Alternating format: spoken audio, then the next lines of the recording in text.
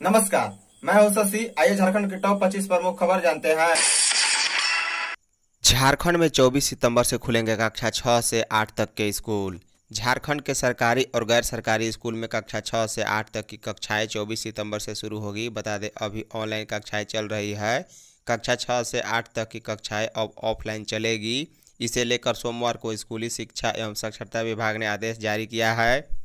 बता दें, स्कूली शिक्षा एवं साक्षरता विभाग के जारी आदेश में कहा गया है कि स्कूलों को इसी के अनुरूप अपनी तैयारी करनी है।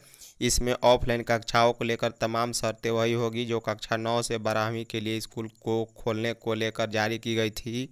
बता दें, झारखंड में लगभग 18 माह बाद कक्षा छठी तथा सातवीं और पाँच माह बाद कक्षा आठवीं के बच्चों की ऑफलाइन पढ़ाई शुरू होगी। बंगाल की खाड़ी में आए चक्रवात के कारण सोमवार को झारखंड के पश्चिमी भागों में भारी बारिश हुई। मौसम विभाग ने अपने पूर्वानुमान में बताया कि अगले चार से पाँच दिनों के दौरान अधिकतम तापमान में कोई बड़े बदलाव की संभावना नहीं है। राज्य के दक्षिणी भागों में एक से दो स्थानों पर भारी बारिश हो सकती है, जबकि रांची समेत अन्य जिलों में बारिश के साथ वज्रपात की भी आशंका है। कक्षा छः से आठ स्कूल खोलने संबंधित गाइडलाइन राज्य के सभी स्कूल जहाँ कक्षा छः से आठ तक की पढ़ाई होती है, वहाँ कोरोना गाइडलाइन का हर हाल में पालन करना होगा। सभी संबंधित शिक्षकों को स्कूल आने से पूर्व कोरोना वैक्सीन का एक डोज लेना अनिवार्य होगा। स्कूल के अंदर सभी शिक्षक मास्क का हमेशा उपयोग करेंगे। स्कूल का संचालन सुबह आठ बजे से लेकर दोपहर बारह बजे तक होगा। सभी स्कूल में शत प्रतिशत शिक्षकों की उपस्थिति हो। स्कूल खोलने से पहले स्कूल परिसर, क्लासरूम, प्रयोगशाला, लाइब्रेरी समेत अन्य क्षेत्र जहाँ छात्रों का आना जाना होगा, उसे सैनिटाइज करना होगा। स्कूल के अंदर और बाहर साफ़ सफ़ाई पर ध्यान देना होगा। कक्षा छः से आठ के छात्रों के पास क्लासरूम में आने का विकल्प होगा। इसके लिए पेरेंट्स की लिखित सहमति अनिवार्य होगी। टीचर और स्टूडेंट सोशल डिस्टेंसिंग का हर हाल में पालन करेंगे। वहीं स्कूल में प्रार्थना सभा तथा किसी भी प्रकार का समूह का सांस्कृतिक कार्यक्रम आदि का आयोजन नहीं होगा। स्कूल के अंदर स्टूडेंट को टिफ़िन बॉक्स लाने की अनुमति नहीं होगी। स्कूल में साबुन से हाथ धोने की व्यवस्था स्कूल प्रबंधन को करनी होगी। झारखंड में मिल्क बैंक शुरू करने की तैयारी मिलेगा माँ का दूध। झारखंड सरकार का स्वास्थ्य विभाग ब्लड बैंक की तर्ज पर राज्य में मिल्क बैंक शुरू करेगा। स्वास्थ्य विभाग के अपर मुख्य सचिव अरुण सिंह ने सोमवार को झारखंड राज्य एड्स नियंत्रण सोसाइटी के प्रतिभा सम्मान समारोह में स्वास्थ्य मंत्री बन्ना गुप्ता की उपस्थिति में यह घोषणा की। मिल्क बैंक दरअसल मदर मिल्क बैंक होता है, जो माँ के दूध से वंचित बच्चों के स्वास्थ्य के लिए काफ़ी मददगार साबित हो सकता है। अपर मुख्य सचिव अरुण सिंह ने कहा कि आने वाले दिनों में ब्लड बैंक के तर्ज पर मिल्क बैंक की स्थापना स्वास्थ्य विभाग की ओर से की जाएगी, ताकि माँ के दूध से वंचित, जरूरतमंद नवजात शिशुओं, मिल्क बैंक के माध्यम से दूध मुहैया कराया जा सके। झारखंड के सभी थानों में लगेगा सीसीटीवी कैमरा। झारखंड के सभी थानों में सीसीटीवी कैमरे लगाने की तैयारी है, जिसकी ज़िम्मेदारी Jharkhand agency for promotion of information technology को दिया गया है। इसके साथ ही जैप आईजी ने थानों में सीसीटीवी कैमरे लगवाने को लेकर सर्वे व इससे संबंधित अन्य मसौदों को प्रस्ताव लगभग तैयार कर लिया है। इसे केंद्र को भेजा जाएगा। कैमरे देश के सभी थाने में सीसीटीवी कैमरे लगाने के देश की महत्वाकांक्षी योजना के तहत लगाए जाएँगे। बता दें, इस पर आने वाली लागत भी केंद्र सरकार ही वहन करेगी।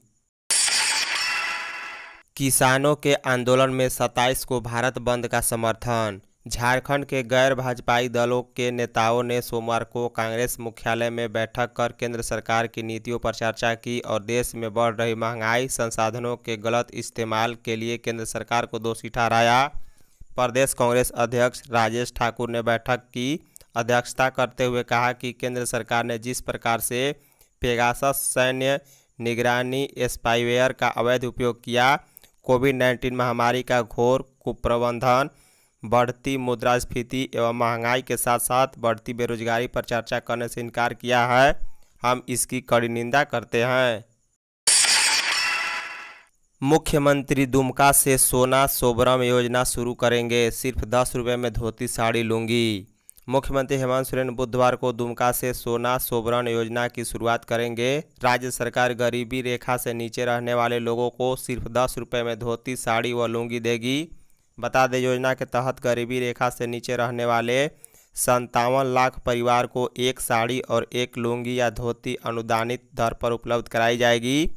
पात्र परिवार को साल में दो बार अनुदानित दर पर दस रुपये में वस्त्र दिए जाएँगे।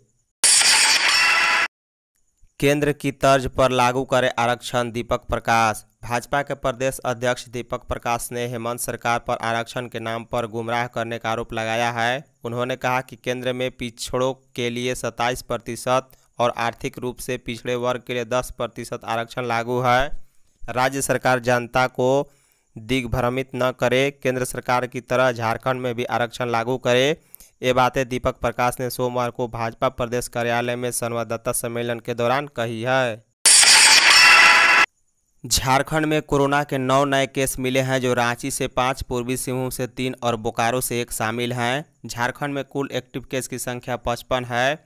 भारत में चौबीस हज़ार आठ सौ संतानवे नए केस मिले हैं। भारत में कुल एक्टिव केस की संख्या तीन लाख दो हज़ार तीन सौ ग्यारह है। हजारीबाग में इंटर की छात्रा के साथ गैंगरेप, पाँच युवकों ने की दरिंदगी। हजारीबाग के दारू में इंटरमीडिएट में पढ़ने वाली एक दलित छात्रा से पाँच युवकों ने सामूहिक दुष्कर्म किया। लड़की की हालात बिगड़ने पर सोमवार को उसे शेख भिखारी मेडिकल कॉलेज अस्पताल लाया गया। बता दें, इसके बाद पुलिस को मामले की जानकारी हुई। पीड़िता के परिजनों के मुताबिक बच्ची से 18 सितंबर की भोर में सामूहिक दुष्कर्म किया गया। उस समय वह तीन अन्य सहेलियों के साथ शौच के लिए घर से बाहर निकली थी। झारखंड के कैलकुलेटर ब्याज ने बनाए छः विश्व रिकॉर्ड। रांची के रहने वाले जुड़वा भाई, विराट माकन और विराज माकन झारखंड के कैलकुलेटर ब्याज के नाम से जाने जाते हैं। बता दें, ये देश के पहले ऐसे दो बच्चे हैं जिन्होंने उल्टा पहाड़ा पढ़ने की अद्भुत पद्धति से इंडिया बुक ऑफ़ रिकॉर्ड में अपना नाम सबसे अनोखे कैटेगरी में दर्ज करवाया है। ये बच्चे एक से लेकर सौ तक का पहाड़ा उल्टा, सीधा और स्क्वायर तथा क्यूब रूट फटाफट सुना सकते हैं। इन दोनों बच्चों ने मिलकर छः नए वर्ल्ड रिकॉर्ड बनाए हैं। इन दोनों बच्चों के पिता गगन माकन गणित के शिक्षक हैं। झारखंड में सुधा दूध में प्रति लीटर दो रुपये की वृद्धि। राजधानी रांची सहित झारखंड में सुधा दूध अब महँगा हो गया है। बता दें, सुधा दूध में प्रति लीटर दो रुपये की वृद्धि की गई है। यह दूध इक्कीस सितंबर से बढ़ी हुई कीमत पर मिलेगा। कॉम्फेड की प्रोग्रामिंग कमेटी की बैठक में यह निर्णय किया गया है। उल्लेखनीय है कि इससे पहले सुधा दूध की कीमत सात फरवरी 2021 को बढ़ी थी, सात महीने बाद एक बार फिर दूध की कीमत बढ़ी है। ओबीसी आरक्षण पर कांग्रेस का धरना आज। झारखंड प्रदेश कांग्रेस ओबीसी विभाग के तत्वाधान में राजधानी में राजभवन के समक्ष सहित सभी जिला मुख्यालय में ओबीसी वर्ग को 27 प्रतिशत आरक्षण दिलाने की मांग को लेकर मंगलवार को धरना का आयोजन किया गया है। ओबीसी विभाग के प्रस्तावित धरना कार्यक्रम में झारखंड प्रदेश कांग्रेस अध्यक्ष राजेश ठाकुर सहित वरिष्ठ कांग्रेस नेतागण उपस्थित रहेंगे। प्रदेश कांग्रेस ओबीसी विभाग के चेयरमैन अभिलाष साहू ने बताया कि धरना को लेकर सभी जिला इकाई ने अपने जिलों में बैठक आयोजित कर तैयारी पूरी कर ली है। अनुबंध कर्मियों ने नेपाल हाउस का घेराव किया। अस्थायी नियुक्ति की मांग को लेकर अनुबंध पारा चिकित्सक कर्मी संघ ने सोमवार को नेपाल हाउस सचिवालय का घेराव किया। कर्मियों ने मुख्य गेट बंद कर दिया और नौ घंटे तक डटे रहे। इस दौरान उन्होंने अपनी मांगों के समर्थन में नारेबाजी भी की। मेन गेट जाम रहने की वजह से अधिकारियों को पिछले गेट से सचिवालय में प्रवेश करना पड़ा। वहीं शाम सात बजे अधिकारियों के आश्वासन के बाद अनुबंध कर्मियों ने घेराव समाप्त किया है। कर्मियों ने चेतावनी दी है कि अगर उनकी मांग पर विचार नहीं हुआ तो वे मंगलवार को फिर घेराव करेंगे। गृह मंत्री अमित शाह से 26 को मुखातिब होंगे सीएम हेमंत।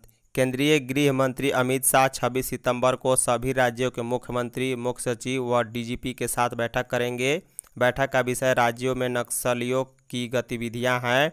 बता दें, नक्सलियों की गतिविधियों के रोकथाम की जा रही कार्रवाई व चलाए जा रहे अभियान के बारे में गृह मंत्री जानकारी लेंगे और आवश्यक दिशा निर्देश भी जारी करेंगे। बता दें, आगामी 26 सितंबर की बैठक को लेकर पुलिस मुख्यालय में इससे संबंधित उपलब्धियों व की गई कार्रवाई से संबंधित फ़ाइल तैयार की जा रही है। स्वास्थ्य विभाग के कर्मियों का वेतन बढ़ा।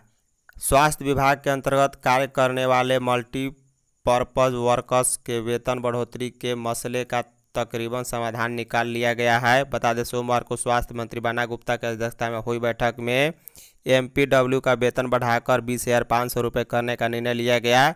मंत्री ने निर्देश दिया कि इससे जुड़ी संचिका से जुड़े कामकाज का निपटारा अगले पंद्रह दिनों में कर लिया जाएगा। सरकार के इस निर्णय के बाद एमपीडब्ल्यू एम कर्मचारी संघ ने अपने तीन माह पुराने आंदोलन को स्थगित कर दिया है। झारखंड में आईएएस अधिकारी राजेश्वरी बी व नेहा को अतिरिक्त प्रभार।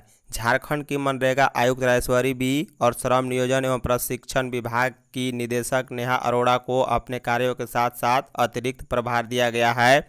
वहीं जमशेदपुर में आईटीडीए के परियोजना निदेशक चंद्रशेखर प्रसाद को खाद्य सार्वजनिक वितरण एवं उपभोक्ता मामले विभाग का अपर सचिव बनाया गया है। इस संबंध में कार्मिक प्रशासनिक सुधार एवं राजभाषा विभाग ने सूचना जारी कर दी है। बिहार के राज्यपाल पहुँचे बाबा नगरी। बाबा भोलेनाथ की पूजा अर्चना करने बिहार के राज्यपाल फागू चौहान सोमवार को देवघर पहुँचे। पूजा के बाद राज्यपाल श्री चौहान ने कहा कि बाबा सब जानते हैं, बिहार और झारखंड की जनता को बाबा का ही सहारा है, इसलिए कभी भी यहाँ की जनता को कोई कुछ बिगाड़ नहीं पाएगा। बता दें, यहाँ पहुँचने पर राज्यपाल श्री चौहान को कड़े सुरक्षा घेरे के बीच मंदिर के प्रशासनिक भवन में ले जाया गया।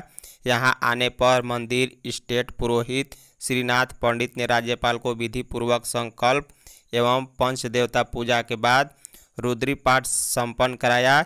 उसके बाद महामहिम को बाबा मंदिर के गर्भगृह में ले जाया गया। माँ दुर्गा की प्रतिमा व कलश यात्रा को लेकर डीसी से मांगी अनुमति। लोहरदगा केंद्रीय दुर्गा पूजा समिति के अध्यक्ष सुमित राय उर्फ़ डब्लू के नेतृत्व में सोमवार को एक प्रतिनिधिमंडल लोहरदगा के डीसी दिलीप कुमार टोपो से मिला।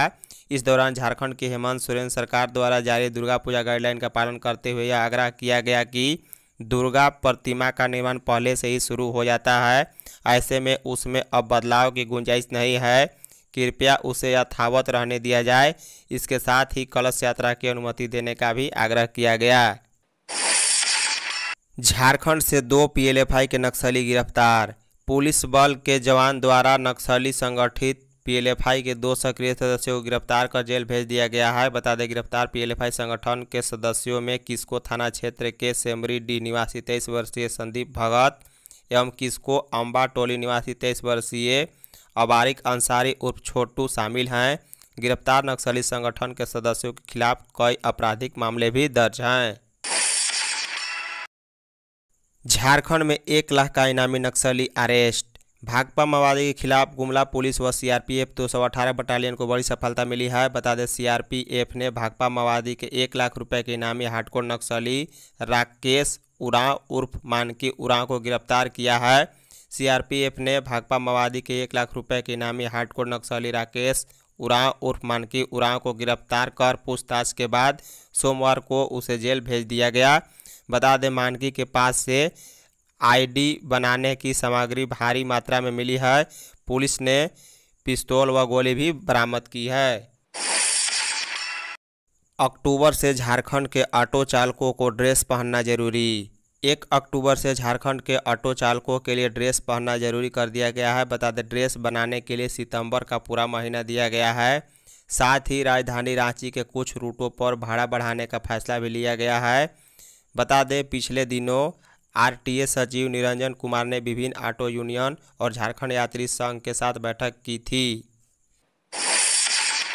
प्रधानमंत्री आवास योजना के तहत राजधानी रांची में नगर निगम को अलग अलग वार्डों में ग्यारह हज़ार नौ सौ चौंसठ घर बनाने का लक्ष्य मिला है। यहाँ वित्त वर्ष पंद्रह सोलह में पीएम आवास योजना के तहत जब काम शुरू हुआ था, तब पचपन वार्ड थे, लेकिन विगत नगर निगम चुनाव के पूर्व परिसीमन के तहत अब वार्डों की संख्या घटकर तिरपन हो गई है। लिहाजा अब तक सभी तिरपन वार्डों में आठ हज़ार घरों का निर्माण किया जा चुका है। वहीं 600 से 700 आवासों के छत की ढलाई भी चल रही है। ईट भट्ठों और क्रेशर की होगी जाँच। ईट भट्ठों और क्रेशर में काम करने वाले मजदूरों के निबंधन की जाँच की जाएगी। बिना निबंधन वाले मजदूरों से काम कराते पाए जाने पर उनके संचालकों पर कार्रवाई होगी और क्रेशर बंद कर दिए जाएँगे। इसकी जाँच के लिए जिला प्रशासन की टीम छापेमारी करेगी। इस दौरान मजदूरों को दी जाने वाली मजदूरी और अन्य सुविधाएँ की जानकारी भी हासिल की जाएगी। इसके लिए टीम का गठन किया गया है। धन्यवाद। यदि आप चैनल पर नए हो तो चैनल को सब्सक्राइब कर बॉल का बेल आइकन दबाइए। साथ साथ वीडियो को एक लाइक कर अपने दोस्तों के व्हाट्सएप, फेसबुक, ट्विटर, इंस्टाग्राम पर शेयर करना ना भूलें। साथ ही साथ आप हमें कमेंट बॉक्स में अपना प्यारा सा फीडबैक अवश्य दें। Thank you.